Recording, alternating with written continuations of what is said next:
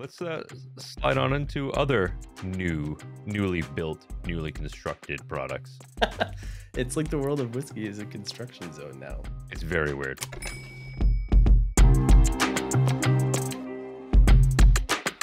Moving uh, pretty much due north, which is something we never say in whiskey. Moving, yeah, especially from, from New Jersey, right?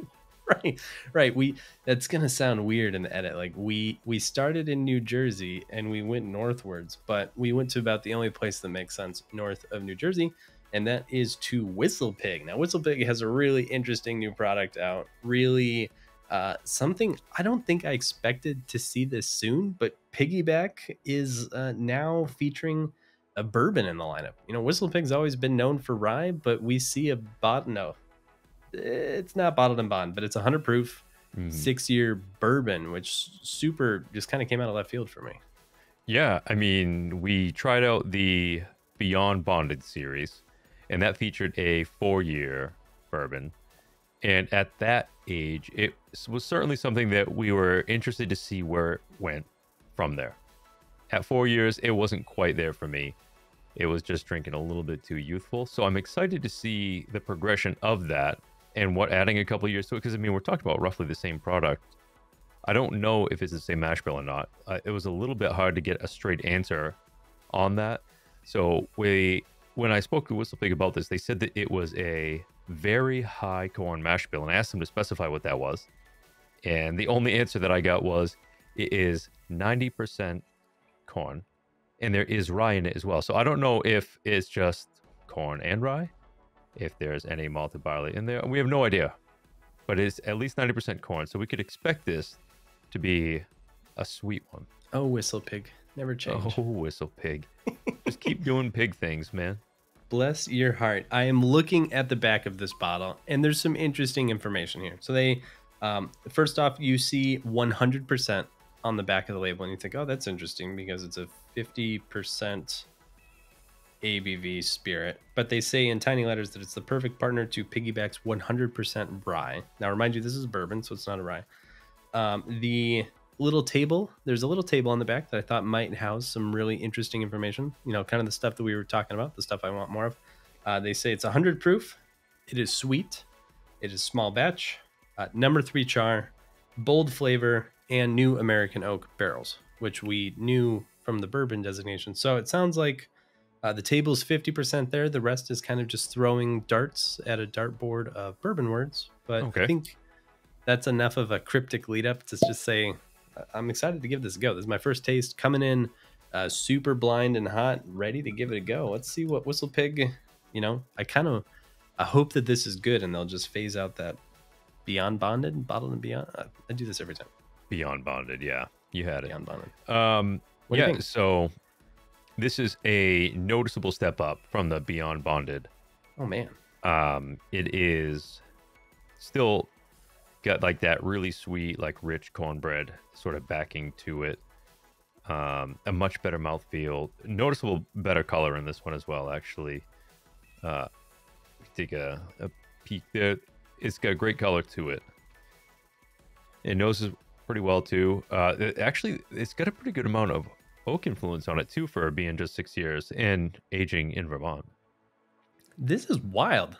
I would not uh I would not guess that this is whistle pig whatsoever, especially if I tasted this blind and especially after tasting that beyond bonded because this I, I don't want to say it's remarkable whiskey. Like it is very nice. Like I'm I'm pleased and surprised at how much this very first sip like sat well with me. But like this is a monster upgrade over that beyond bonded. This is this is good bourbon. It is. It's got a lot going on. It is oaky too. Like, oh my it's, yeah, it's oaky. It's got this really cool like caramel cone kind of man. There's almost a fruitiness to it too. There's more going on here. I think I still have some of the Beyond Bonded here. Let me. I'm gonna pour just a little touch of that next to it and just do a quick comparison. Okay, I'm gonna stick with this because I didn't. uh I didn't enjoy the Beyond Bonded as much as I'm enjoying this, so I'm gonna stay with the good thing. But this has tons of char and apple pie, and there's like a custard and a a burnt caramel, like a burnt sugar you get on the top of creme brulee. Like this has a lot of character, and the proof is uh, the proof here worked so much better than the same ABV for a much younger whiskey in that four year Beyond Bonded. This is Um, I forget the price point, but like I actually am 50 enjoying bucks. this, and that's huh? 50 bucks. Six years, 100 proof, $50 SRP. Okay. I mean, that's a pretty good deal all day long. Yeah, I mean, for something that's age stated and, you know, made all right there in house, and, and they're like totally off the grid. You know, they're growing their own grain, growing their own oak. Right. They're really doing damn near as much grain to glass as you can get, which I think is cool. And on top of that, they, I mean, geez, everything that I think I asked for when we were tasting the Beyond Bonded came true with this Right. piggyback. If Yeah, I mean, only just- I had known that this was just a couple days behind it in the mail. Um, this is checking a lot of boxes. man the, the comparison between these two is night and day whereas there's a lot of like bright green youth grainy notes in the beyond bonded the it- it's like it was totally wiped clean like Okay. that's that slate is just gone and we're just starting out with a whole different product like these two they, they're not even reminiscent of each other Oh, fascinating. I, I'm curious. I, I wish so badly we knew the mash bill because I also feel like the mash bill is different on this one. There's got to be some malted barley or something else. Like it has this richness be. to it. It has a nice texture, oiliness, viscosity. Like on the palate, it's rich where the previous was just like thin and, and hot and unseemly. This is, I mean, night and day is what you said, and I totally agree. yeah it does it's got a really great like boozy charred oak kind of background to it it Yeah. works well it is like vibrant too This is begging for an old fashioned, and I don't mean that in the like, uh, uh, uh, uh put it in an old fashioned way. You get rid of stuff you don't like. Like, This has that nice char to it. I think would go well with some maple and bitters and a slice of cherry. I mean, yeah, I'm I'm a Midwesterner. My old fashions look a little weird, anyways. But a little bit of sweet, big bitters, a little bit of fruit. Like this would this would be very formidable in a good cocktail. It would, and really, that's what the whole piggyback line is catered toward. I mean, this is the one that is supposed to be right there for mixing. I mean, they keep the SRP as low as they can on these, and it's really sort of be like aimed to be like the bartender's best friend. This is the one that, I mean, when they sent us this, they also sent a bottle of their maple syrup with it, the barrel aged maple syrup Oh right, and that is like sort of the like hey use this make a cocktail with the piggyback rye make a cocktail with the piggyback bourbon use this maple syrup with it like they're very intentionally put together and i think that's great. It's a really good a, a much better look than some of the other stuff that i think a couple years ago we were seeing from whistle pig and i'm excited about what this could mean for the future of their own distillate and their whiskey. Definitely. So we have the holiday season coming up, right? And You said this six years, fifty percent ABV, fifty bucks. Uh, you need a whiskey gift. You buying it? You passing? What What's the consensus here, real quick? Yeah, th- this would be a great, great holiday gift, especially like if you live in an area where you get local maple syrup, but with it, get some cocktail cherries, build like a little old fashioned kit or something, and give that to somebody. You're gonna knock it out of the park. I love that. I think this is a good year for everyone to get an old fashioned kit. I've had some bad old fashioned at family family gatherings, and I think it's Oh, time yeah. we just we just whip it up right. I'm with you, man. Totally, ex- like very excited about where this is going. I I don't know if they have any plan to rest this stuff further and see where it goes. I would love to try some of this at eight years too.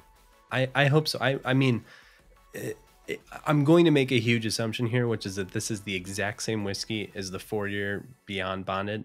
That's probably very faulty, but I mean, the difference between four year to six year, let's, let's just say it even more general. The difference between their four year product and their six year product is remarkable.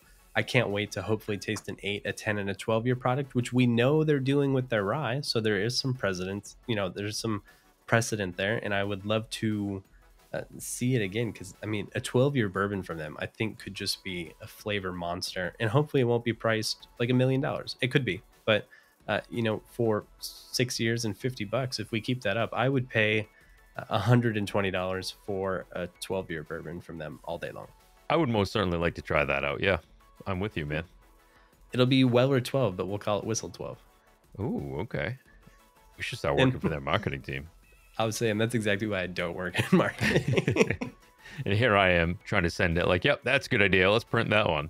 Oh, everyone needs a fluffer. But okay, cool. So, uh, yeah. So piggyback bourbon, six years, fifty bucks. Honestly, super good. We would love to know, guys, if you pick this up, if you tried at a bar, uh, what your thoughts are. It's always interesting to see people, uh, you know, who we know for making rye venture into bourbon. It's more exciting when we see them do well. And that's where I'm going to leave it.